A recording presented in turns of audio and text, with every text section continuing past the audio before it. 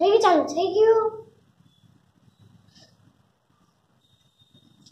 Good morning students कैसे मेरे प्यारे दोस्तों तो आज हम लोग बहुत ही बेहतरीन टॉपिक के बारे में डिस्कस करने वाले हैं जिसका नाम है थर्मोडायनेमिक्स दोस्तों आपको लगातार केमिस्ट्री और फिजिक्स दोनों में थर्मोडायनेमिक्स आता है जिसको समझने के लिए मैं बोल रहा हूँ कि आप एक साथ चार प्रोसेस को डिफ्रेंशिएट कीजिए फ़र्स्ट वन अगर आप ये जो प्रोसेस हो कांस्टेंट टेम्परेचर पे कर रहे हो, यानी आपकी जो प्रोसेस है, उसमें टेम्परेचर चेंज नहीं हो रहा है तो उसे बोलेंगे आइसोथर्मल प्रोसेस प्रेशर कांस्टेंट है तो आइसोबारिक प्रोसेस वॉल्यूम कांस्टेंट है तो आइसोचोरिक प्रोसेस एंड अगर उसके अंदर क्यू यानी हीट कांस्टेंट है तो उसे बोलेंगे एडियाबैटिक प्रोसेस दोस्तों, ये तीनों प्रोसेस या फिर चारों प्रोसेस अलग अलग इन सबके बीच में पहली चीज़ कौन सी चीज़ कांस्टेंट है, सबको पता चल गया?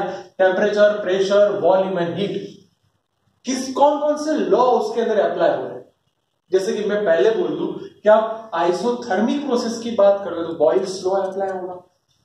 कांस्टेंट प्रेशर की बात कर रहे हो तो चार्ल्स लॉ कांस्टेंट वॉल्यूम की बात कर रहे हो तो आपका गैल्यूशेक लॉ अगर आप हीट को कांस्टेंट कर रहे हो तो इसका मतलब ये हुआ कि यहाँ पे पॉइसिली लॉ कंपल्सरी यूज़ होगा। अगर अलग अलग लोग यूज़ हो रहे हैं तो उनके अपने फॉर्मूला हो अब वो फॉर्मूला का यूज़ कैसे करेंगे तो ध्यान रखना दोस्तों।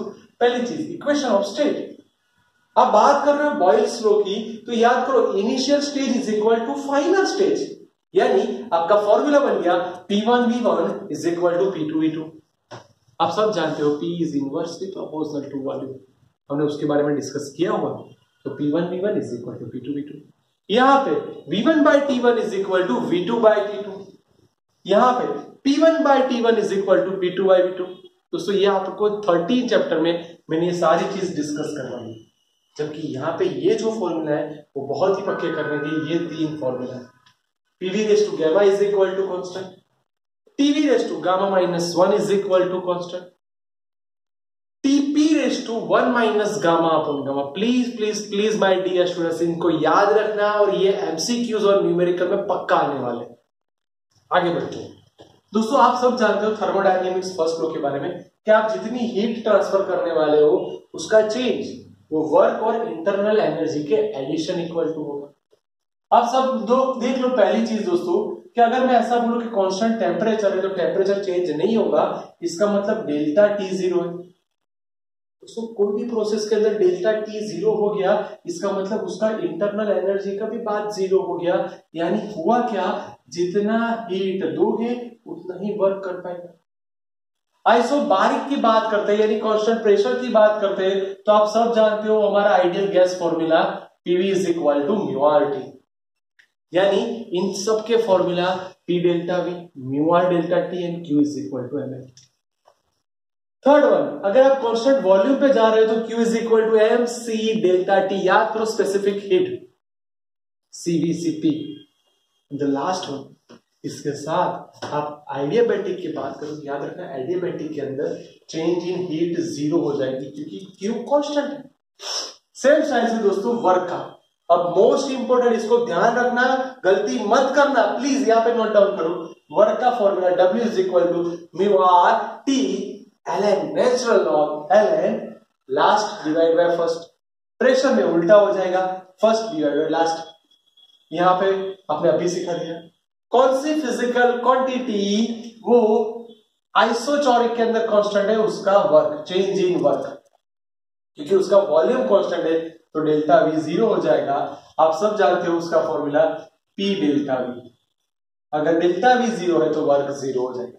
दोस्तों वर्क ज़ीरो हो गया। इसका मतलब जितनी हीट आप दोगे, वो सारी हीट उसके इंटरनल एनर्जी में स्टोर हो जाएगी।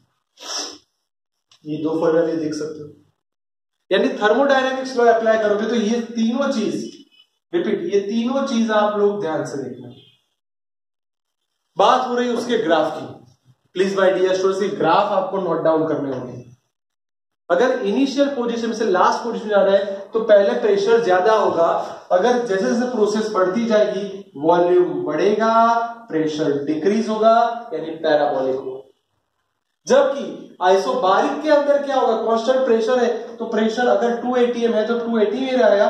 ये इनिशियल पोजीशन से फाइनल पोजीशन दोस्तों ये लाइन हॉरिजॉन्टल अगर कोई भी लाइन हॉरिजॉन्टल होती है तो उसका स्लोप नहीं होता, क्योंकि हॉरिजॉन्टल का मतलब theta is equal to zero आप सबको मैंने सिखाया है टेन ज़ीरो ज़ीरो नाइन जबकि आइसोटोरिक के अंदर जब कांस्टेंट वॉल्यूम है, सोचो यहाँ पे 10 मीटर क्यूब है तो वो चेंज नहीं होगा।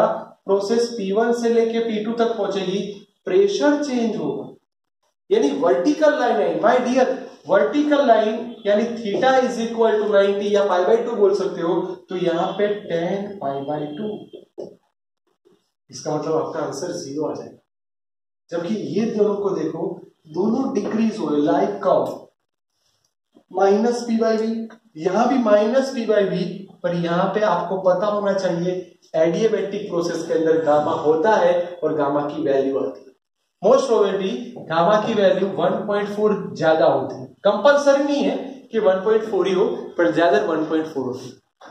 तो सब जब भी थर्मोडायनेमिक्स पढ़ो तो उसके लिए आपके माइंड में ये सारी प्रोसेस अच्छे से क्लियर होनी चाहिए। प्लीज़ ये टेबल को दो बार देख लो और इसको अच्छे से आप एक बार लिख लो माइंड ओके ध्यान से देखिए।